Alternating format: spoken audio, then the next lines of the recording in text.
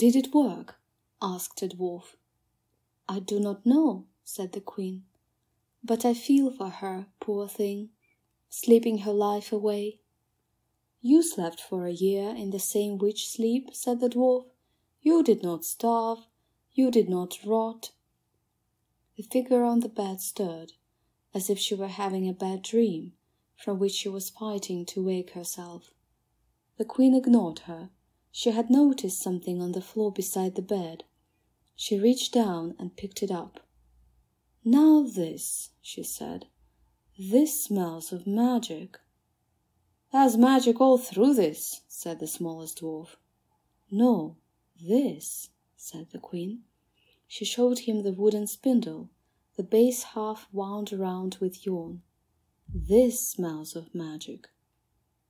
It was here, in this room, said the old woman suddenly, and I was little more than a girl. I had never gone so far before, but I climbed all the steps, and I went up and up, and round and round, until I came to the topmost room. I saw that bed, the one you see, although there was nobody in it. There was only an old woman sitting on the stool, spinning wool into yarn with her spindle. I had never seen a spindle before. She asked if I would like a go. She took the wool in her hand and gave me the spindle to hold. She held my thumb and pressed it against the point of the spindle until blood flowed, and she touched the blood to the thread and then she said Another voice interrupted her. A young voice it was, a girl's voice, but still sleep thickened. I said, Now I take your sleep from you, girl, just as I take from you your ability to harm me in my sleep, for someone needs to be awake while I sleep. Your family, your friends, your world will sleep too. And then I lay down on the bed, and I slept, and they slept. And as each of them slept, I stole a little of their life, a little of their dreams. And as I slept, I took back my youth, and my beauty, and my power. I slept, and I grew strong. I undid the ravages of time, and I built myself a world of sleeping slaves. She was sitting up in the bed. She looked so beautiful and so very young. The queen looked at the girl and saw what she was searching for. The same look that she had seen in her stepmother's eyes, and she knew what manner of creature this girl was. We had been led to believe, said the tallest dwarf, that when you woke, the rest of the world would wake with you, why ever would you think that? asked the golden haired girl, all childlike and innocent. Ah, but her eyes, her eyes were so old. I like them asleep. They are more biddable. She stopped for a moment. Then she grinned. Even now they come for you. I have called them here. It's a high tower, said the queen and sleeping people do not move fast. We still have a little time to talk, your darkness. Who are you? Why would we talk? Why do you know to address me that way?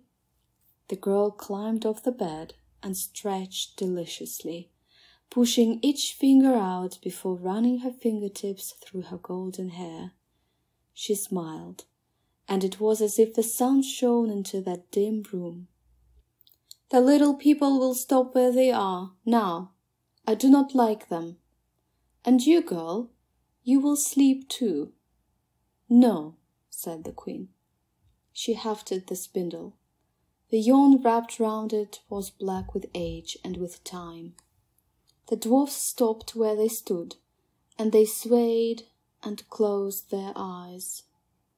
The queen said, It's always the same with your kind. You need youth and you need beauty.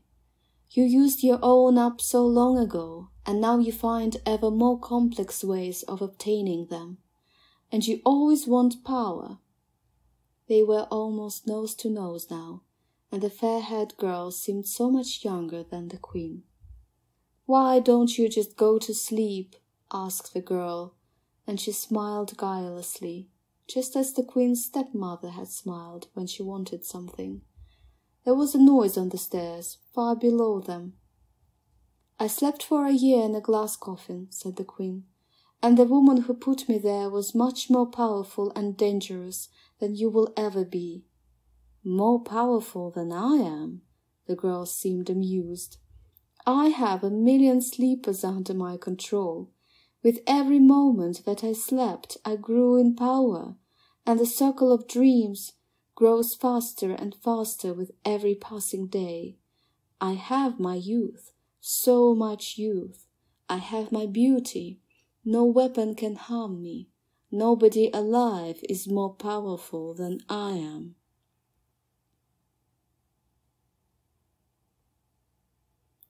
She stopped and stared at the queen.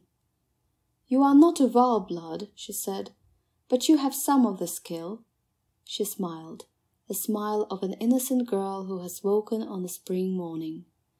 Ruling the world will not be easy, nor will maintaining order among those of the sisterhood who have survived into this degenerate age. I will need someone to be my eyes and ears, to administer justice, to attend to things when I am otherwise engaged. I will stay at the center of the web. You will not rule with me, but beneath me, but you will still rule, and rule continents, not just a tiny kingdom.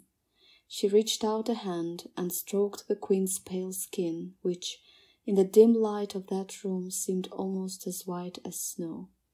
The queen said nothing. Love me, said the girl.